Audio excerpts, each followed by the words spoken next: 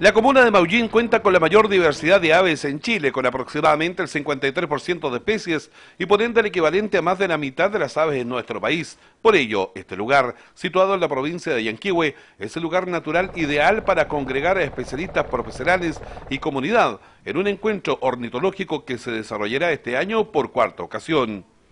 Eh, decir que este encuentro es sumamente especial porque gracias a un, convenio que desarrollamos eh, con eh, la Agencia de Turismo de Intereses Especiales BIR Chile, logramos que este año la salida de campo sea realizada por estudiantes del Liceo Capitán de Fragata de Maullín, que, quienes en, una, en un curso pionero se están transformando en guías de turismo de intereses especiales, así que agradecer también a BIR Chile que nos dio la oportunidad de poder tener gente local trabajando directamente con estos del turismo de intereses especiales.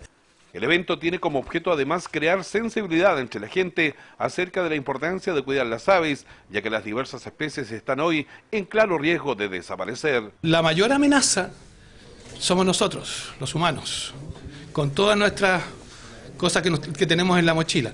O sea, nosotros somos los que no cuidamos porque tenemos, estamos desinformados, porque nos falta un poco más de educación ambiental y eso es un poco lo que queremos lograr, a través de los niños principalmente.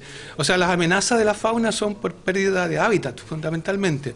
O sea, los ambientes que ellos ocupan, que son las desembocadoras de río, las playas, que es la misma que nosotros queremos ocupar para construir la casa veranea, para donde ir a, hacer nuestras actividades de turismo.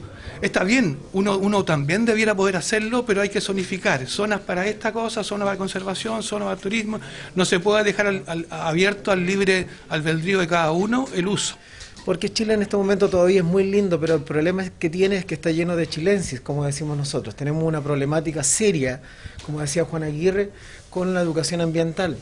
Los chilenos pasamos 12 años de la vida por el colegio y salimos muy mal eh, informados ¿cierto? de la geografía de nuestro país, de la flora, de la fauna, y por lo tanto, cuando nos transformamos en mamás, papás, profesionales eh, de cualquier área, decidimos mal, aunque hayamos pasado por estos 12 años, 4 o 6 años de universidad.